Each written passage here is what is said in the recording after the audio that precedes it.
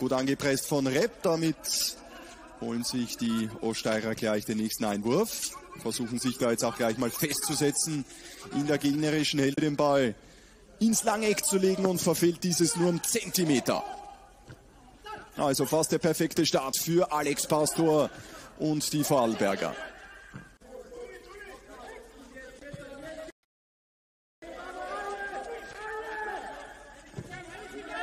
Bandli versucht es mit dem langen Ball. Flanke, Kopfball dann allerdings zu schwach. Alles letztlich eine Folge vom missratenen Aufbauspiel. Das da mal etwas zurückfallen lässt. Manfred Fischer heute auf der klassischen Zehnerposition wieder aufgestellt. Da waren uns zu Beginn nicht ganz sicher.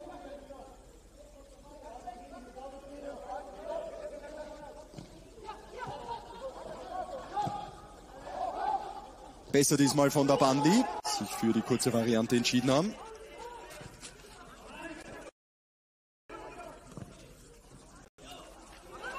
Also das kann man auch mal so lösen.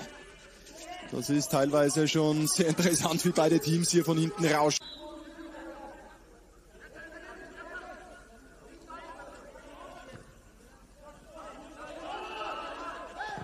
Alle Fälle kann man nach etwas mehr als zwölf Minuten schon mal konstatieren, zumindest was die erste knappe Viertelstunde in diesem Spiel betrifft, dass dieser Sieg in Ried nach vorne bringen wollen. Und wir haben uns auch vorab natürlich ein Bild vom Geläuf gemacht hier in der Prophetil Arena, dass schon ziemlich viele Natteltaler geht's nochmal hinten rum. Guter Ball auf Horvath.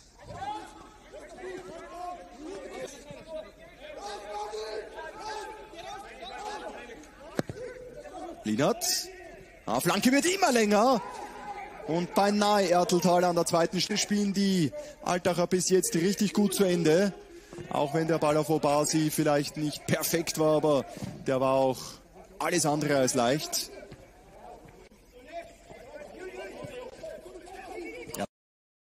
Erteltaler auf Horvath.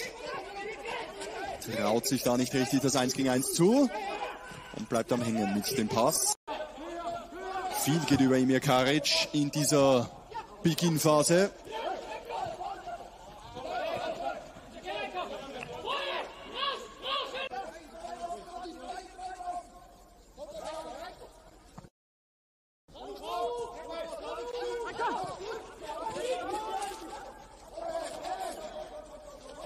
Kein Foul. Aber die Marke hat nicht profitieren können. Der zuletzt eben mit Gelbrot hier vom Platz flog gegen Rapid. Da gab es ja wilde Diskussionen.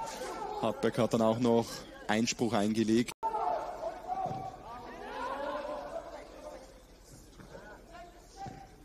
Ein Rückstand, keine Seltenheit und nichts Ungewöhnliches für Hartberg in dieser Saison. Verändert natürlich auch das Spiel, die Spielphilosophie.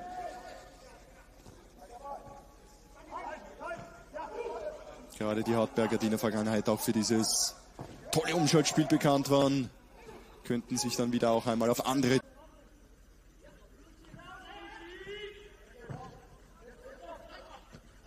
Aber rein von der Tabelle her war nicht viel anderes zu erwarten. Alter Run. Erst einmal gelang es dem 34-Jährigen mit den Vorarlbergern die Null zu halten in dieser Saison. Zu Beginn fehlte Cobras ja nur zweiter Sieger gegen Alevis.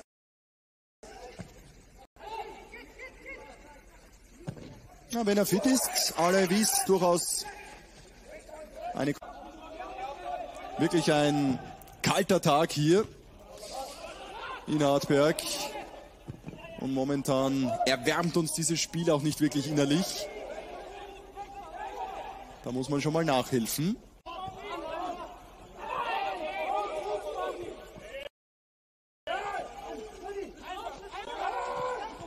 Ordentlich rund im Mittelfeld. Immer noch ein Altacher angeschlagen auf dem Boden, aber das Spiel läuft. War Horvath, der wieder Linat mit. Mittlerweile sind auch in den anderen beiden Stadien die ersten Tore gefallen. In der Südstadt führt Rapid mit 1 zu 0 und auch Sturm führt gegen St. Pölten Nachtragsspiel vor der Brust haben. Dieses Spiel wird auch die Frühjahrssaison einläuten in der Tipico Bundes.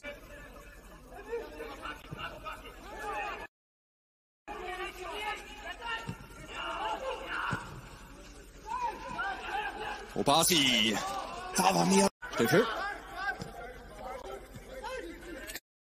Kann die Seite hier nicht mehr rechtzeitig verlagern, weil die Hartberger hier gut attackiert haben. Damit geht's wieder hinten rum. Kostet natürlich wieder Vorseitenwechsel. Wenn nicht, dann hoffentlich einen veränderten Spielfilm obendrauf geben. Nächstes Missverständnis. Omgue im Spiel nach vorne und jetzt plötzlich die Riesenmöglichkeit für Raiko Rep. Und der scheitert an Martin Kobras. Wie auch viel zu gering, um den Ball noch vorbeizulegen. Solche Chancen hat Rep in der Vergangenheit sich seltenst nehmen lassen. Hoffentlich mehr Spektakel liefern als noch die ersten 45 Minuten. Auf alle Fälle steht zum vierten Mal in Serie zwischen Hartberg und Altach in einem Sieger. Insofern sollten noch Tore fallen heute, wenn sich die Serie fortsetzt.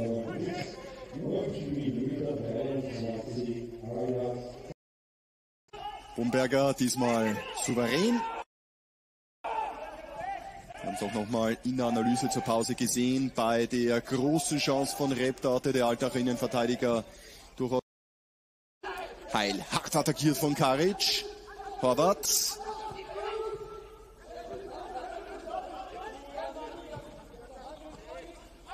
Genau das sind Ball wieder bis zur Wette zurück. Nimmt natürlich dann auch das Tempo komplett raus aus dem Spiel. Vielleicht machen sie es jetzt besser. Die Steirer. Rep. Flanke abgefälscht. Chaza ist da.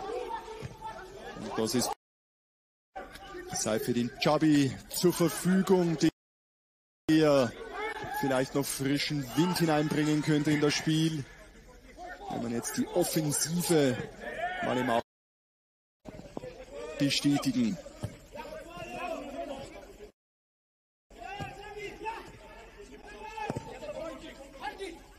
Obasi, gute Ballmitnahme, aber für Hartberg. Also den 100 hat er schon geknackt. Heute könnte er zu einem eher verzichtbaren Herbstsaison Revue passieren lassen und eventuell reagieren. Aber nur wenn ein Spieler auch wirklich kurz- und langfristig weiter. Guter Einsatz von Kien. Rep. Interessant. Sogar noch einmal ein bisschen offensiver denkt als Karic. Vielleicht spürt man das jetzt auch. Vielleicht macht sich das auch bemerkbar. Bei den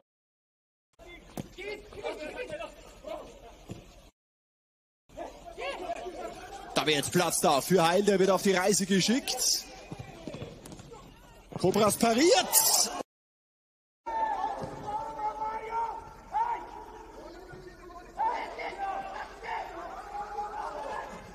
Langer Einwurf auf Tadic. Jazz hat hätte ja mal etwas gehen können.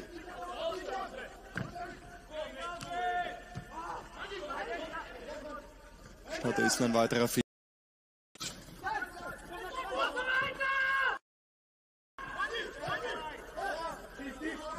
Turnwald angelaufen von zwei Hartbergern. Diesmal können Erteltaler. Repp.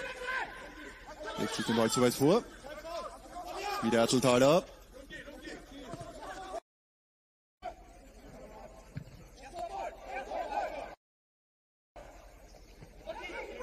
man vielleicht kann er ein bisschen herumwirbeln in der Altacher Defensive.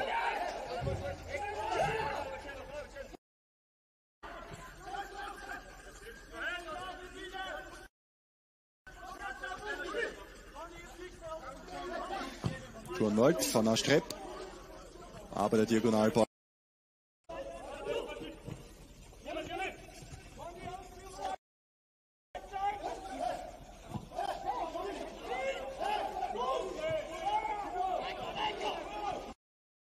Reicht diese Möglichkeit, eventuell hier mal einen Konter zu lancieren. Horvath, keins hinterläuft.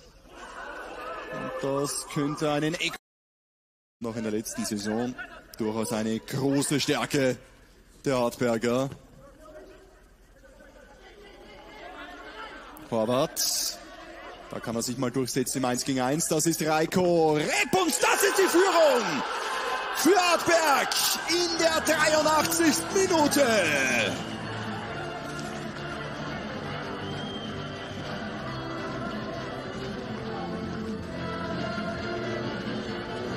Einmal nicht richtig aufgepasst und dann ist Reiko Repp zur Stelle und macht sein drittes Saisontor. Ausgangspunkt, die gute Drehung, die gute Ballmitnahme von Norbert, der sich da mal aufdreht.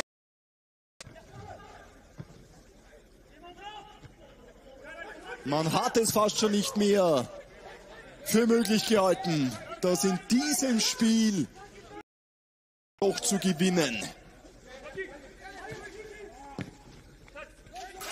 In der Blitztabelle macht Hartberg Boden gut, reiht sich jetzt derzeit auf Rang 7 ein einen Platz vor dem WRC, einen Platz hinter St. Pölten, die mittlerweile mit 0 zu 3 zurückliegen beim SK Sturm.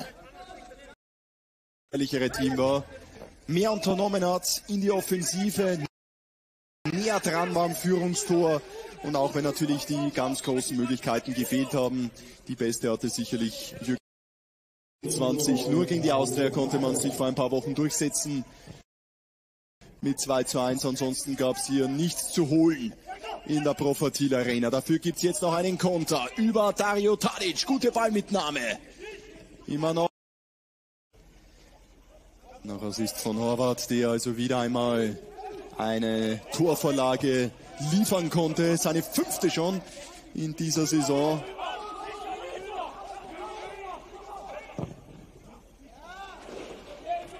Und für etwas eben das dritte es sind dann, dann eben doch Einzelaktionen, die solche Spiele entscheiden.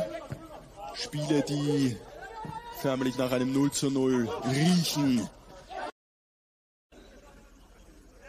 Und es wäre nicht nur für ihn erlösend gewesen, es wäre auch für Ginido Basi natürlich erlösend gewesen, endlich mal in der Bundesliga anzuschreiben.